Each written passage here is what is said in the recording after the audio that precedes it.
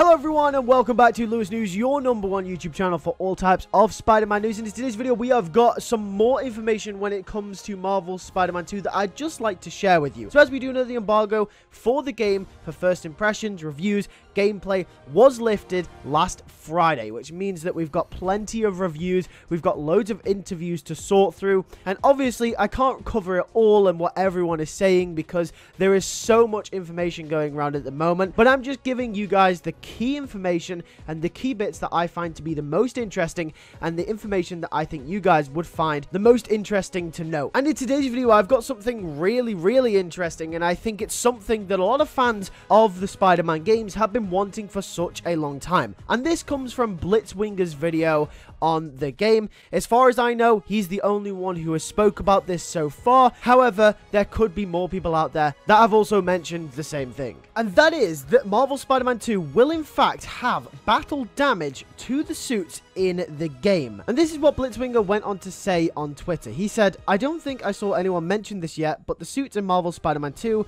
have a battle damage feature, at least the advanced and upgraded suits did when I got to play. The battle damage would disappear after I was done with the mission slash crime. So personally, I believe this will definitely stir some controversy, and I've definitely seen some people on Twitter already discussing this and having two sides, two opinions, because on one hand, battle damage is something that we've wanted from Spider-Man games since The Amazing Spider-Man came out in 2012. You know, we've wanted it in every Spider-Man game since, and it's been something that we as fans have really wanted to see because battle damage Spider-Man suits are a big part of the character from the comics and even the Tobey Maguire movies really popularized that Spider-Man battle damage suit. And I think it's also important to represent how the character, you know, he isn't perfect and he can be beaten down. And I think a battle damage Spider-Man is a good representation of how much he's struggling and how hard potentially an opponent can be. And it's something that the first game only did in cutscenes. The final Doc Ock mission obviously had a battle damage suit in the cutscene. And then obviously after you fight Kingpin in the first mission of the first game, your suit gets battle damaged and then that's when you make the advanced suit.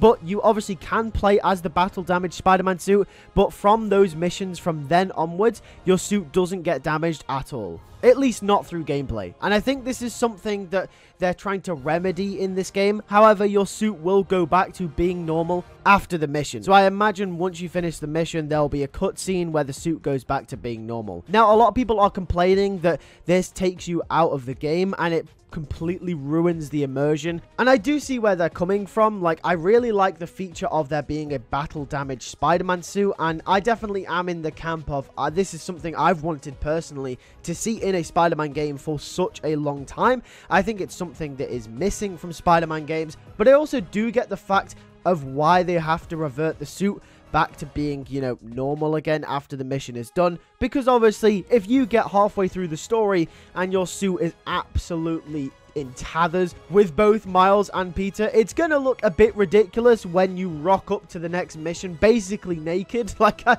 that's all I'm going to say. Because I know that me, personally me, I'm not very good at video games. I'm definitely someone that's going to die a few times when I play this game, and I'm definitely going to take a lot of hits. So I do understand why they revert it back, but I can also see why they left it out the first game, because I feel like if you do get a battle damage suit and then it reverts back after you complete the mission, this will definitely take you out of the game, and it does really ruin the immersion of the story. But oh well, it's a feature that I've been excited to see for a long time, and I'm glad that they're actually putting it in this game somehow. Maybe you'll be able to turn it off, who knows. I also want to mention that Blitzwinger did say that this is only for the advanced and upgraded suit. He didn't mention if this feature was available on the other suits as well, but definitely for the upgraded suit and the advanced suit, so Peter and Miles' suits, this will be available. And obviously, this won't happen on the symbiote suit either, because as we know, when the symbiote suit takes damage, it just repairs straight away. So there will be no battle damage on the symbiote suit, but it will be on Peter and Miles' normal suits. But there is no word currently on if it will be on any of the others. I suppose it probably would be because I imagine the mechanic probably works the same on every suit, but we'll just have to see.